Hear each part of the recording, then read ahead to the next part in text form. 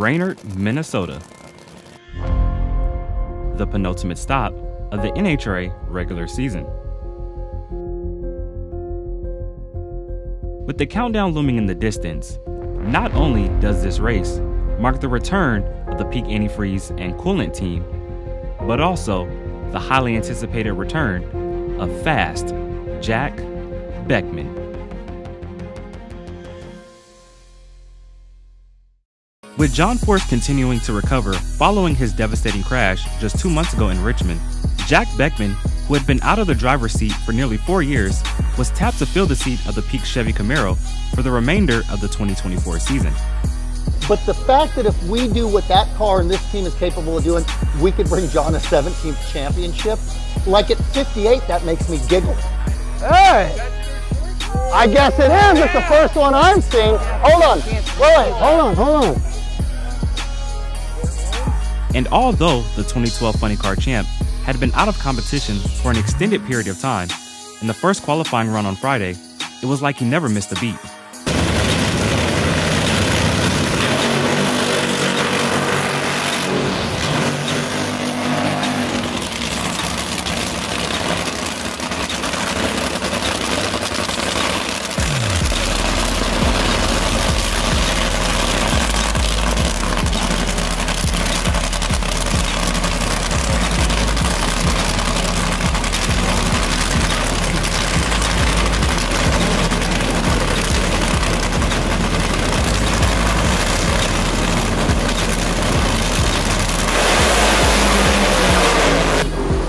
How about it? Welcome back, Jack Beckman. 392, 318 miles per hour, and JFR is back. Beckman's 392 in the opening qualifying session was bettered only by teammate and funny car points leader Austin Prock, who stole the pole away with a strong 391 at over 330 miles per hour in the final pair.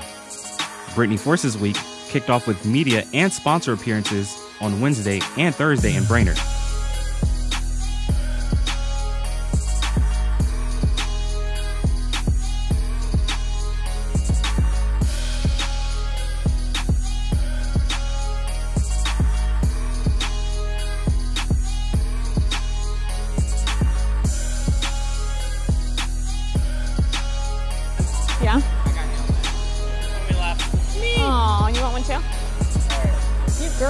So pretty. Deanna, ready? There you go.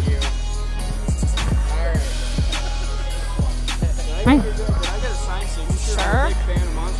All right. Well, we're the NHRA drag racing team. There you go.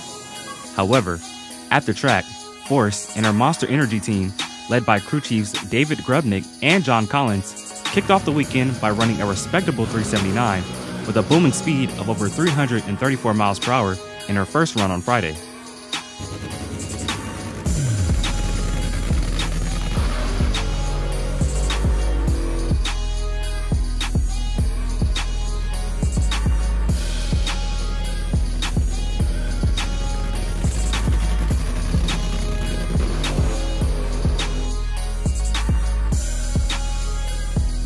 Beckman laid down another solid pass in the second session later that evening, placing him seventh after day one. But Brittany Force lowered the boom once again, recording top speed of the meet at over 336 miles per hour to go along with the 372 to place her in the number six spot at the end of the day. Recap of day one of Jack back in John's seat in the Peak Camaro. Uh, first run, excellent. Everything looked wonderful. The throttle disconnect shut the throttle off at 850 feet. We actually had a car quick enough to go low ET. We still were second best. We're fine with it. We got good data. Second run, car went out there, spark plugs with the cylinder pressure in a nitro engine. A lot of times it will literally just shoot the porcelain out. It was on the left side of the car. It dropped the cylinder, it moved over a little bit. The car still went 393 at 322 miles an hour. We're in the top half. If it's overcast tomorrow, we're going to lean on this thing. I am really optimistic. Yeah. Ready for a fun day? Ready for a Tyler? Let me take a quick photo. All right. Cheese. Got a smile, J-U-D-D.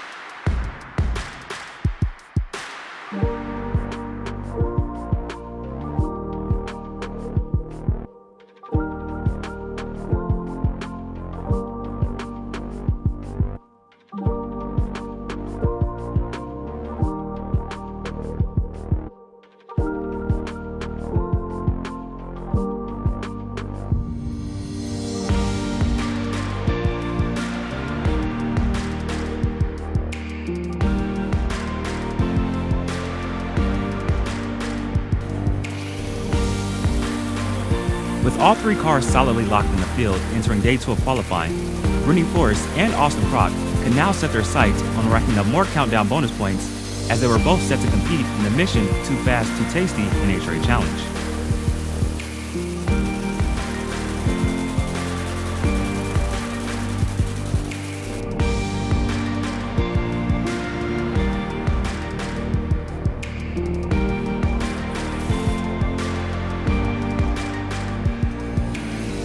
Force and Beckman both struggled in their first runs on Saturday. However, Prock, in his Cornwell Tools Chevy Camaro, was able to put together another nice lap, defeating Bob Tasca and advancing into a sixth consecutive final round of the Mission Challenge.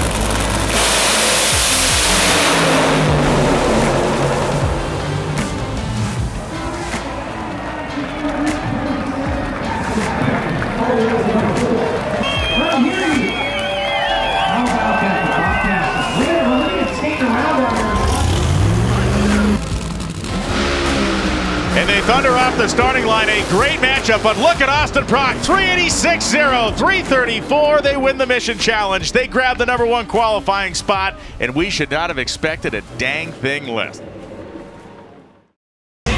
Just wrapped day two of qualifying here in Brainerd. It's been a great weekend for the JFR cars all weekend long. Super pumped with this Monster Energy team. We had three out of four good runs down the racetrack, solid runs. We were hoping for that fourth one, but we just didn't get there. But overall, we ended up number three. We ran a 369.8, which is awesome. We run Clay Millican in round one of eliminations tomorrow. So looking forward to tomorrow. We're in a really good position. We got a great ladder and looking for a long race day. And I'm with her. Three out of four for the Peak Chevy. I'm in John's car. It's starting to feel like home. It was cool. We went a best of a 389 at 327, and I haven't done that for four years. We ended up number six, and I consider that a great way to go into race weekend. But this guy Yeah, we ended up uh, number one qualifier again and uh, got another Mission Too Fast, Too Tasty win. Uh, so more points going into the countdown when they reset the points, and uh, really proud of that. Really proud of this Cornwell Tools team. But I got to say, it was great having Jack here this weekend. Uh, I finally feel a little bit more normal uh, having a funny car teammate back, and um, he's doing an outstanding job. So I was really proud to see that Peak Camaro go uh, 389. Uh, but we nicked him with a, a 386.0 and ended up number one. So looking forward to a long race day. Me and Jack are on opposite sides of the ladder, and we hope to meet in the finals. Tension was in the air on Sunday morning in Brainerd as all three John Force racing drivers had their sights set on claiming the Wally at the end of the day. Brittany Force, who entered the weekend sitting 10th in the Top Fuel standings, desperately needed to go rounds in Brainerd to protect her spot in the countdown to the championship.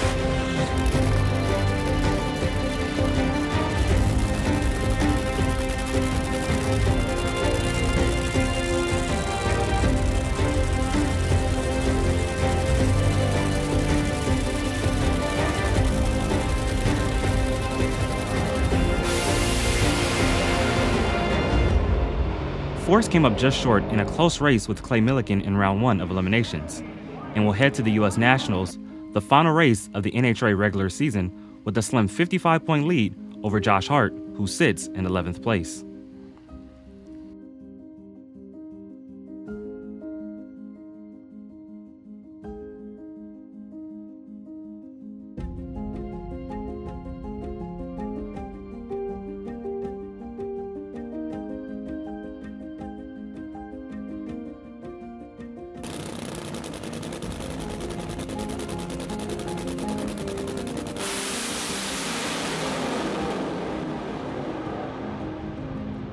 Prock continued his winning ways, defeating Jim Campbell in round number one. But all eyes were now on Jack Beckman, who was competing in his first official round of competition in nearly four years.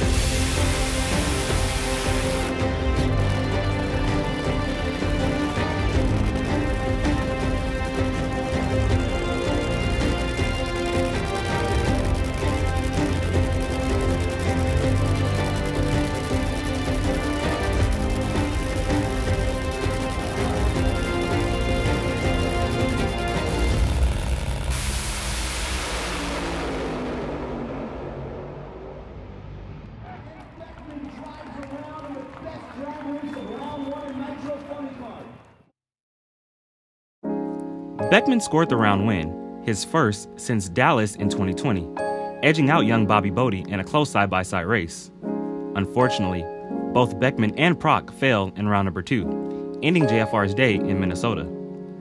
But despite the early exits, the team was still able to end off the day on a high note, celebrating the 13th birthday of John Force's grandson, Jacob John Hood.